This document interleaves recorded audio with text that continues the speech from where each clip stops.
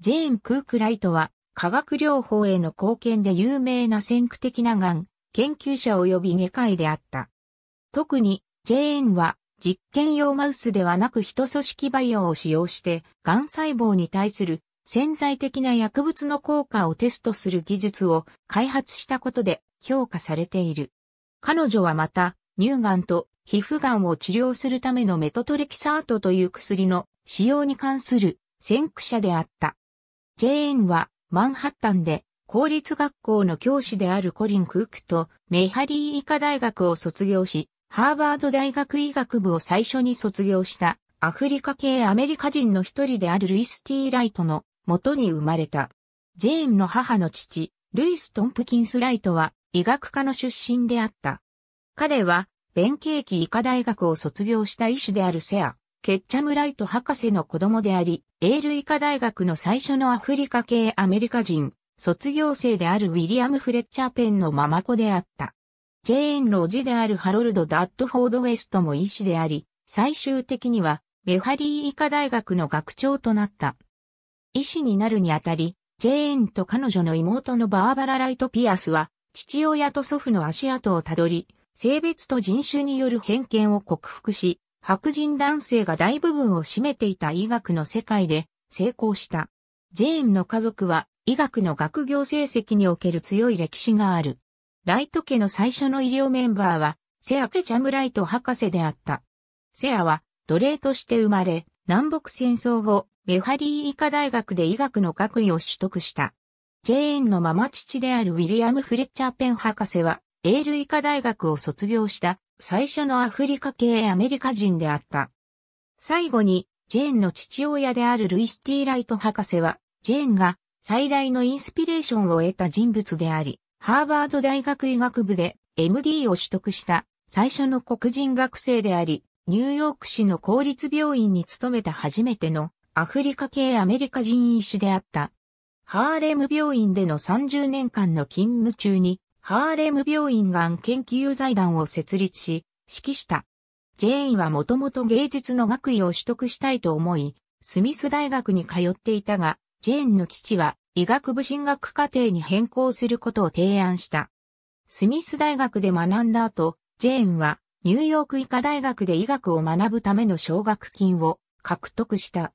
彼女は1945年に早期の3年間のプログラムを終え、優等学位を取得して卒業した。医学部を卒業した後、ライト博士は1945年と1946年にベルビュー病院でインターンを行った。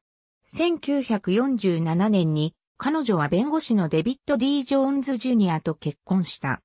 1949年に彼女は1948年に父が勤務しているハーレム病院での研修を終了した。子供の頃、ライトはエシカルカルチャーフィールドストンスクールに通い、その後、エシカルカルチャースクールとフィールドストンスクールに通い、1938年に卒業した。1942年にスミスカレッジで芸術の学位を取得して卒業し、その後1945年にニューヨーク医科大学で医学の学位を取得し、優等で卒業した。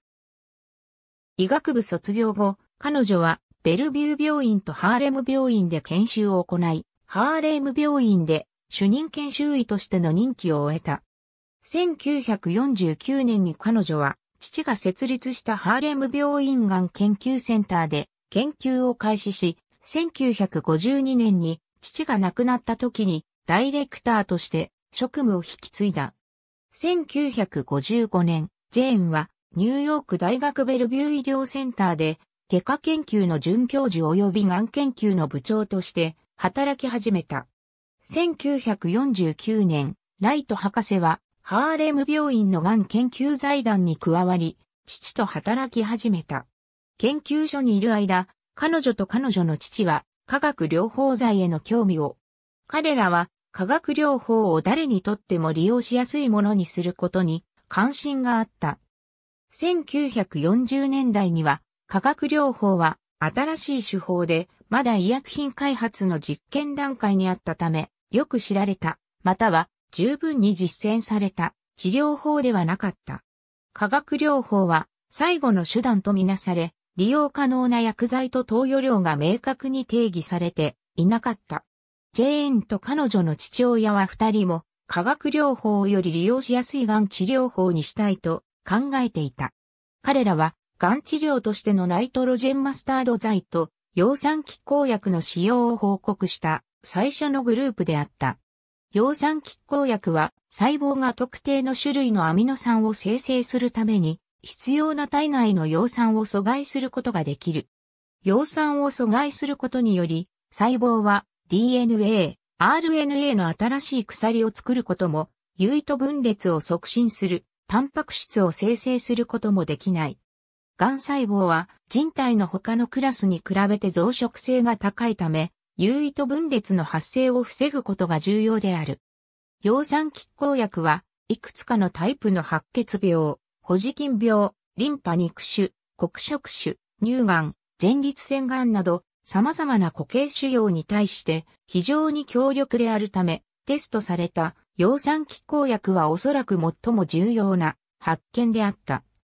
メトトレキサートは今日でも多くの種類の癌治療に使用されている主要な化学療法の薬剤の一つであり、現代のすべての化学療法の基礎となっている。彼女の研究には、腫瘍に対する様々な薬の効果に関する研究もあった。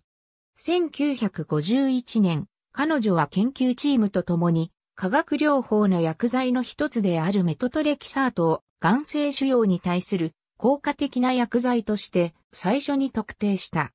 ライトの初期の研究は化学療法を実験的な仮想治療の領域からテストされ証明された効果的な癌治療の領域にもたらした。したがって文字通り何百万人もの命を救った。化学療法での彼女の研究は、患者における毒性に起因する個々の薬剤投与に関する調整だけでなく、併用療法の足がかりであることが証明された。彼らの最初の研究では、彼らは各患者の腫瘍を採取し、それを評価して組織培養で再び増殖させた。次に、これらの腫瘍は腫瘍が摘出される前に患者の治療に使用されたのと同じ薬剤で治療が行われた。随一は薬剤の評価が機能するために必要な臨床基準である。クリニカルクライテリアフォーエバリュエーションオブキーモテラプティックエージェンツ。最終的に彼らは患者に与えられた化学療法の薬剤と組織培養で成長した化学療法の薬剤との間に確かに相関関係があると判断した。このことからジェーンは腫瘍と戦うメトトレキサートという薬を開発することができた。ジェーンとジェーンの父は第一次世界大戦で使用されたマスタードガス化合物と同様に白血病患者の癌細胞の治療に成功したナイトロジェンマスタード剤を導入した。彼女は後に化学療法の組み合わせ研究を開拓し、単に複数の薬剤を投与するだけでなく、連続投与及び投与量の変化に注目し、化学療法の有効性を高め、副作用を最小限に抑えた。彼女は乳がんと皮膚がんの両方の治療法を特定することに成功し、皮膚がん患者の寿命を最大10年を延長する化学療法プロトコルを開発しました。彼女はまた、カテーテルシステムを使用して、肝臓や脾臓などの体内の深部にある腫瘍に強力な薬剤を送り込むためのヒゲ化的方法を開発した。彼女はキャリアの中で眼科学療法に関する100以上の論文を発表し、ジャーナル・オブ・ザ・ナショナル・メディカル・アソシエーションの編集委員を務めた。ジェーンは細胞生物学者で生理学者のジュエル・プラマーコブとも共同研究を行った。基礎研究と臨床に加えて、ジェーンは専門的に活動していた。1964年に彼女は米国臨床腫瘍学会の設立を支援した7人の医師の中で唯一の女性であり、1971年に彼女は女性として初めてニューヨークキャクンサーソサイティの会長に選出された。ジェーンは1967年にニューヨーク医科大学の副学部長兼眼科学療法部長に任命された。当時の著名な医科大学で最高位のアフリカ系アメリカ人医師、そして最高位のアフリカ系アメリカ人女性医師であった。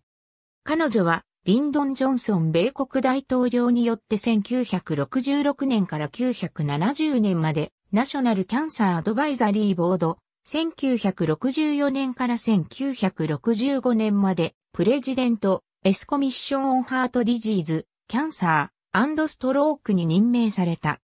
ジェーンは国際的な活動にも活躍し、主要学者の代表団を中国とソビエト連邦、そしてアフリカと東ヨーロッパの国々に派遣した。彼女は1957年にガーナで、1961年にケニアでがん患者への治療に従事した。1973年から1984年には彼女はアフリカンリサーチメディカルファンデーションの副会長を務めた。ジェーンは1985年に引退し、1987年にニューヨーク医科大学の名誉教授に任命された。自身の化学療法における先駆的な研究について説明する際、彼女はレポーターのフェルン・エックマンに次のように語った。未知のことを探求するのはとても楽しい。実験をすることで前向きな貢献ができることほどワクワクすることはない。1947年7月27日、ライトはデビッド・ディ・ジョーンズと結婚し、夫婦にはジェーン・ライト・ジョーンズとアリソン・ジョーンズの二人の娘が生まれた。彼女の夫は弁護士であり、若いアフリカ系アメリカ人のための貧困対策及び職業訓練組織の創設者になった。残念ながら、1976年に夫のジョーンズ氏は心不全で亡くなった。ジェーンは科学だけでなく、ミステリー小説の読書、水泳、セーリングも好きだった。1952年にマドモワゼルメリットアワードを受賞した彼女は、私はこれからも、癌の治療法を探し続け、子供たちにとって良い母、夫にとって良い妻になりたいと述べた。ありがとうございます。